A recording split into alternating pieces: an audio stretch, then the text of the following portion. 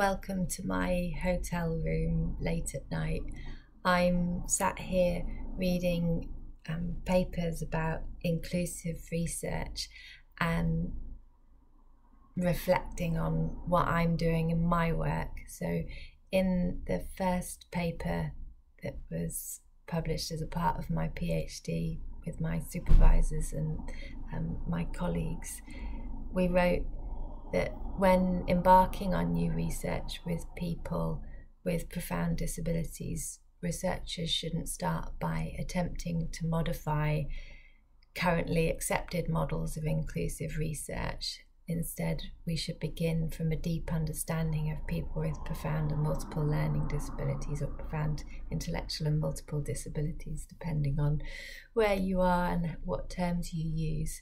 And so, a lot of inclusive research practice has, has been fantastic and has been about enabling people with moderate intellectual disabilities to understand the processes that researchers use and the things that researchers do in order that they can do those things too. So, time has been spent training people with intellectual disabilities to become researchers, and support has been put in place to help them to like manage things like um, getting to places on time and stuff like that, so that they can be involved in the meatiness of doing research.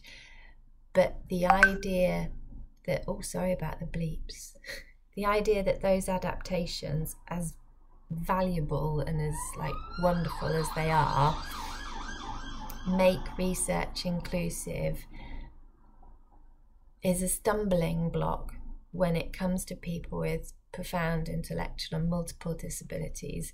Because no matter how much you adapt in things or like no matter how easy read your um, research material was or how simplified your writing was it's never going to be accessible to somebody with that profound a cognitive impairment.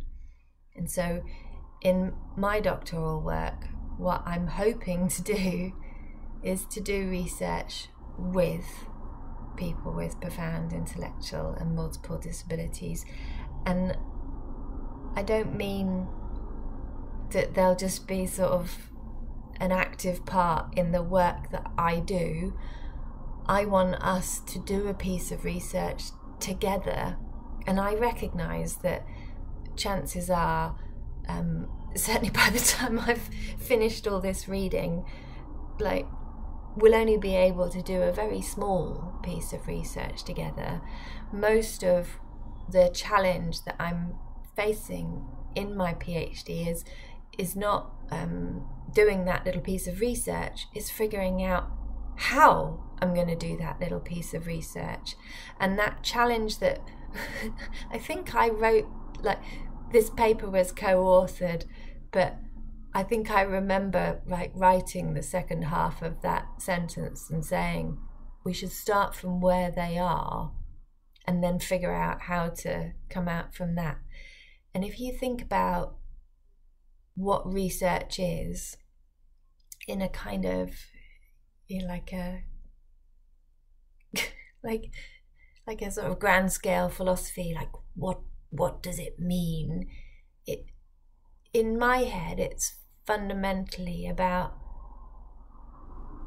finding new understanding or uncovering new knowledge or experiencing new meaning. It's that when we were inducted as postgraduate researchers, they gave us an inspirational presentation, and, and part of that was they said, You've got to imagine all the knowledge that there is in the world, and they drew a big circle. This is all the knowledge, and your job as a researcher is just to and they did like a little pimple on this big circle of knowledge. You've just got to push forth the boundaries of knowledge just a little bit. And that pushing forth of the boundaries of knowledge or that extension to understanding or that apprehension of a new bit of meaning if that's what research is at its core. Yes, it's all the other things, all the methodologies and all the, you know, systems that we have for doing it. That's those are the hows of how we do that, pushing forth of the boundaries. But if that's what it is, and I've got to do that with somebody with profound intellectual disabilities, then my challenge is to find a research space that we can occupy together. And I'm currently um, doing work in the field with some people with profound intellectual and multiple disabilities. And I was going to talk to you about um, one of them. She's called Sennen. Um, and if I can, if I have the video skills, I'll put a picture of Sennen here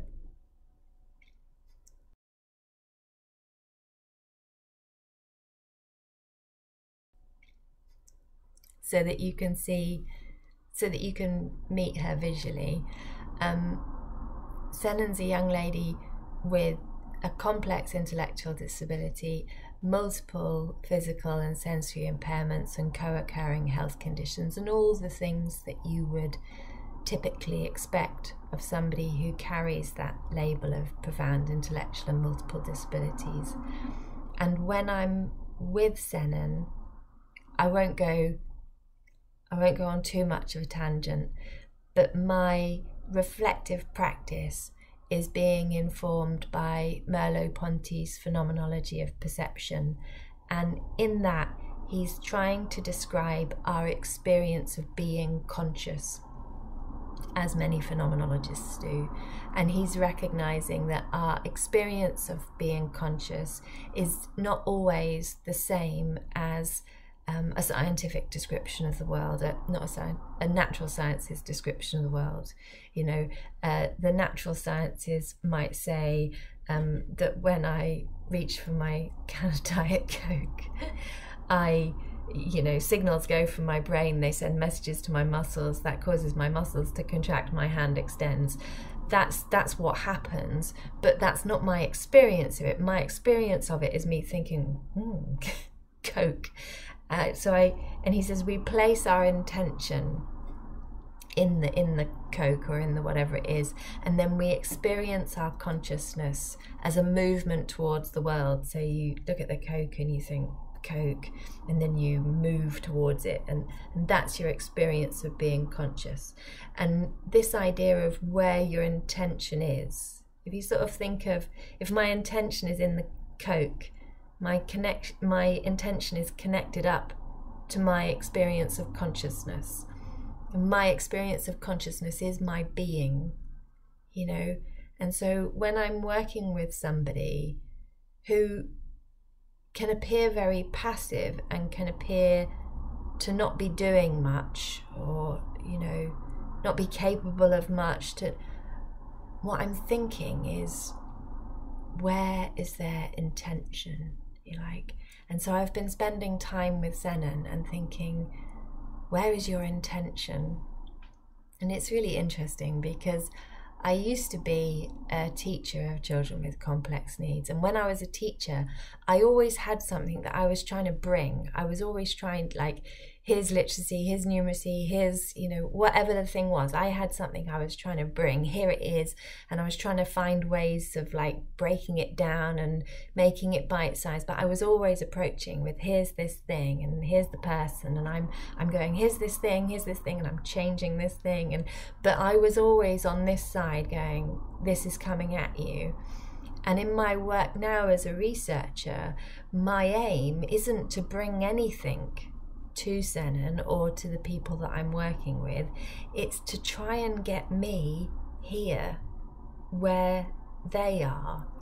And so I've been with Sennen, and she, um, when I see her, she's often lying down in an achiever bed, and her hands are typically up, like in fists near her face, and her eyes move around, but I, I don't get the feeling that she's connecting visually with me and she quite often has her tongue out and and she's licking her finger or she hooks this finger into the corner of her mouth and then she's sort of like part lapping on it, part sucking on it. Sometimes she moves to her arm and things.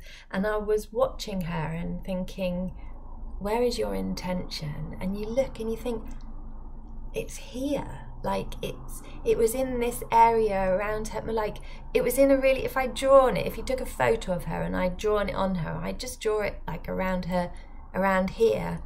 And so I was trying initially to start an intensive interaction conversation with her and to, you know, uh, attune my affect to her affect so that we could create that sort of responsive connection and communication. And I was matching her sounds and matching her gestures and her movements. And I was getting really quite close to her. Like she's got her head on a pillow, and my head is probably only a head's distance away from her. And I was going to say I was doing all those things right.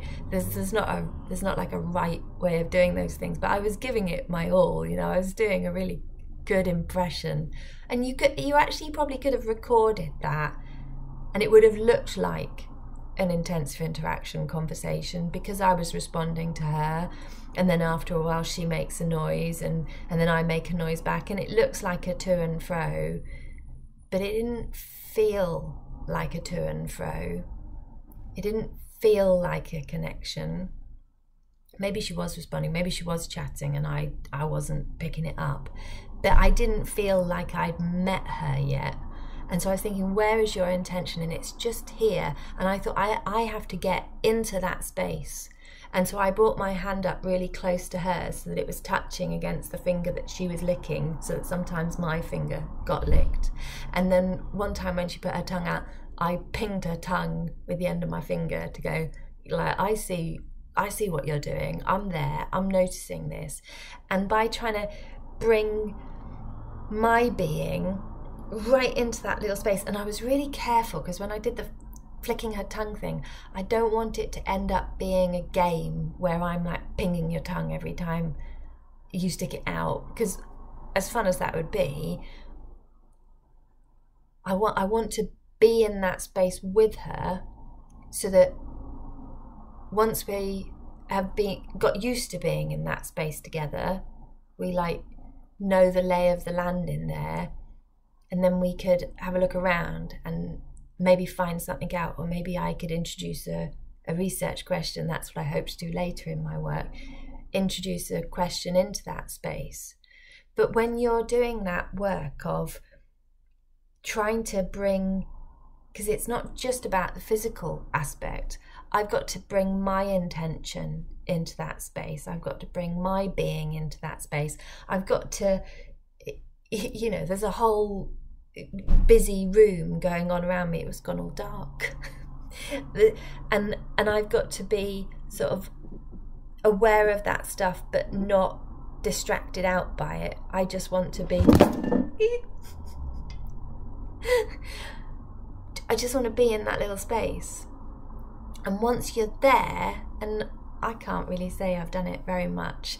Like I've I figure I've managed it maybe once or twice so far, and I've been I've been working um, with Sennen and with my other collaborators for quite a while now.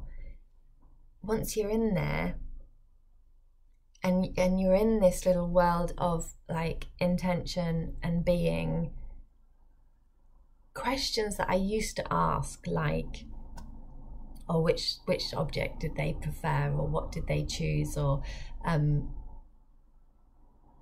they're just so far away. It like, and I want to get into that space, and then work out from there rather than going, you know, a bit like I used to when I was a teacher. Here's what I need to teach you, and I'm bringing it to you, and I'm going to adjust it, and I'm going to change it, and it's it's going to come to you somehow. I don't want to go, this is what research is, this is how research is done, and we're going to figure out a way for you to do this. I want to start from here, and in here, recognize that you are experiencing something that is meaningful, something that counts, and I, I want to have that experience too. I want to join you in that place. And then maybe I'll I'll pop out of that space and try and articulate it in a different space. But the doing of the research it won't require me to provide any training to enable this person to do something else or to modify an approach to so it matches to it's gonna I don't know that it will. I don't even know. I sit here and think, oh, maybe I've just imagined it all. but I would love to to be able to occupy that space. And it feels tangible sometimes. And work out from there. And I think that's I don't know how well that's articulated, but it's late at night on a Friday and yeah. does it does it make sense to anybody?